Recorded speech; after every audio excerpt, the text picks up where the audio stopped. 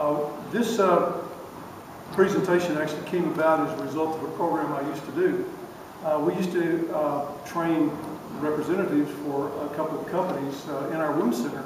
And part of that would be uh, teaching them about basic wound care and where everybody's products fit in and just, just the basic science of taking care of wounds and things like that so they'd have an idea. And then at the end of the program, in addition to doing some hands-on in our wound center, we try to give them a little bit of our philosophy about uh, uh, how you, how to be a representative. Obviously, I'm on the other side of the fence. I have never been on your side of the fence and probably never will be.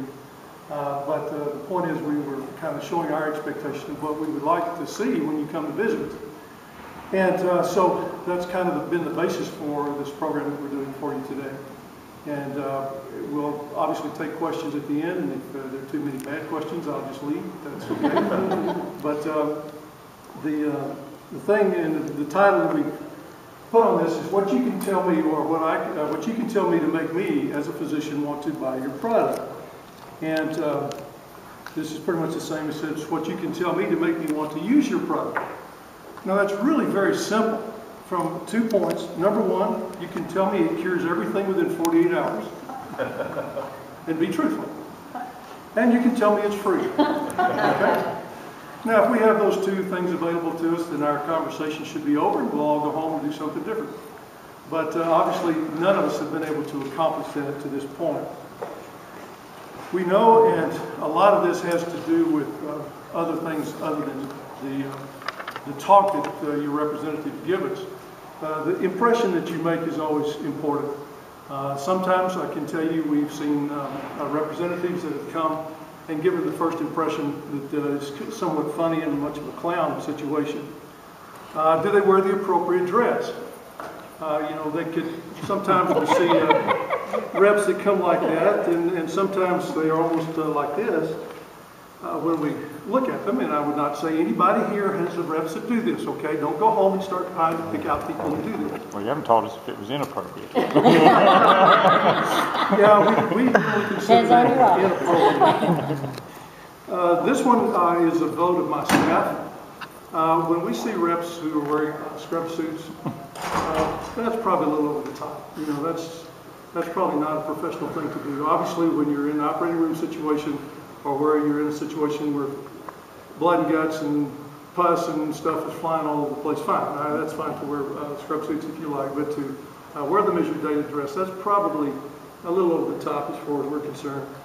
Uh, this is uh, not uh, the lady, but I'll tell you a story about a young lady about 15 to 20 years ago who came to visit us when we were doing vascular surgery. She came to our vascular surgery office to sell us something. My partner at the time and I still have absolutely no idea what she brought. But she came in and she had on a very revealing dress and she had on sunglasses. Now in Alabama, sunglasses are not a big deal. We see people with sunglasses all the time.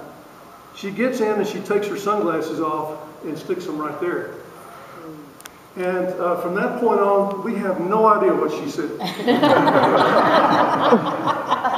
and as, as I said, it's probably been 20 years ago, and if you go see my former partner who's in Tennessee now, and you ask him about the sunglasses girl and what she came to sell, he will remember her, but he has no idea what she was selling.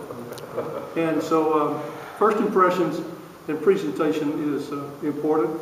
We like the professional look. This lady is available for you if you would like. This is my daughter. That's how you say that. yeah.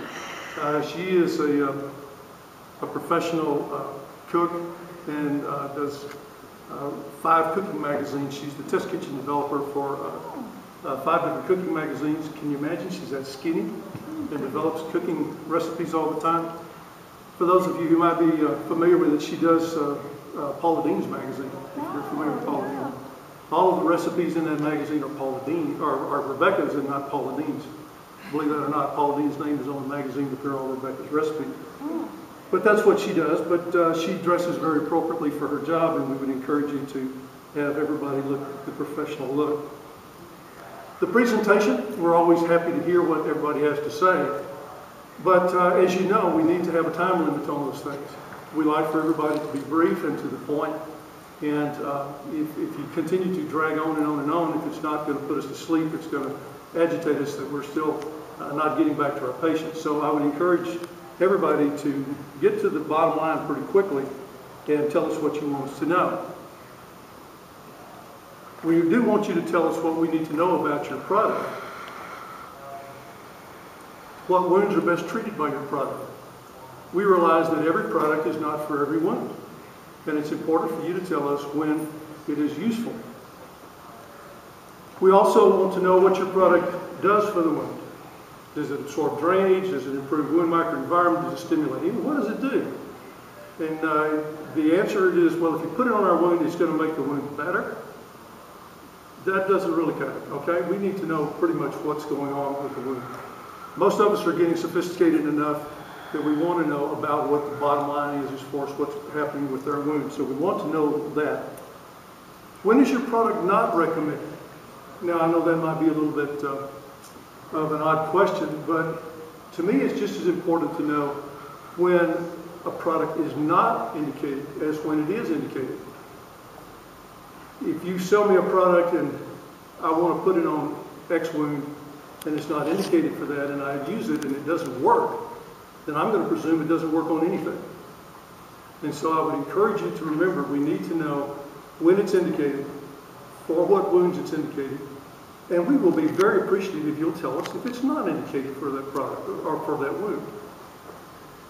And you say, well, you know, we might lose some sales. No, you're going to be go up in our opinion simply because you told us the truth. And I think that's a very big issue uh, when we think about that. I would encourage you to save the science to last. Most everybody in the wound care business, treating wounds now, don't understand the science in the first place. Okay, we did a little test of uh, wound care personnel that are out in the field who actually do wound care around the country. And I presented some of that information today at our members meeting.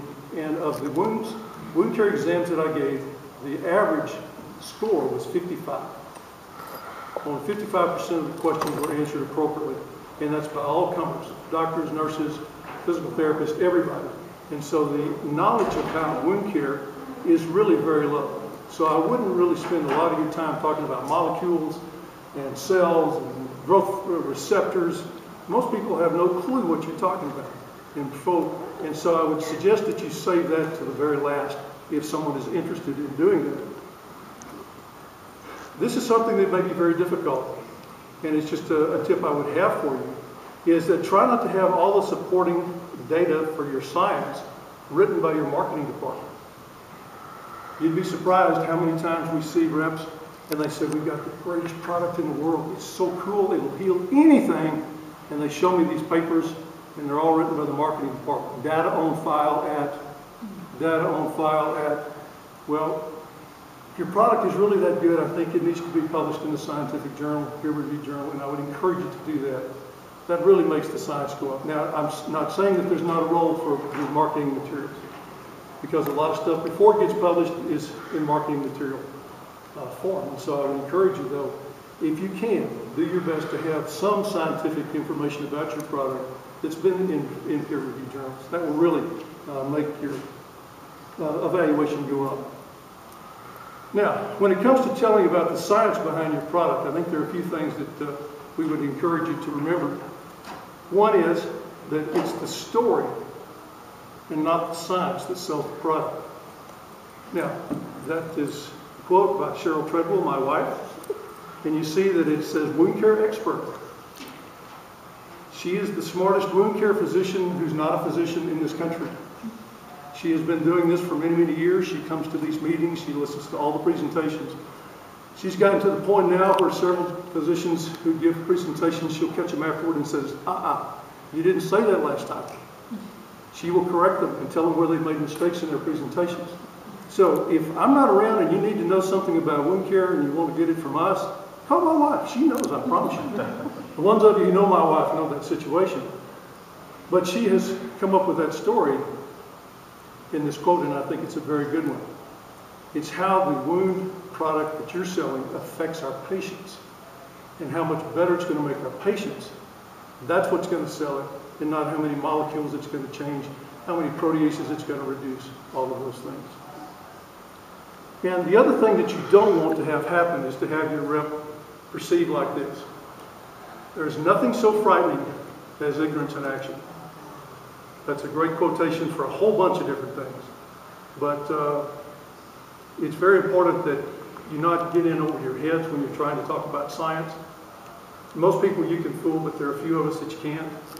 And it's really funny to me for a rep to come in and start going on and on about saying, you know, this product is this to the proteases and this to that and the other. And uh, I don't correct them. I just kind of ask leading questions to see if I can chase them down the path and see how far I can let them fall into that rabbit hole. But it's uh, always interesting to uh, realize that you, you need to tell the truth and not get above your, your pay grade, so to speak, with, when you're talking about science of wound care products.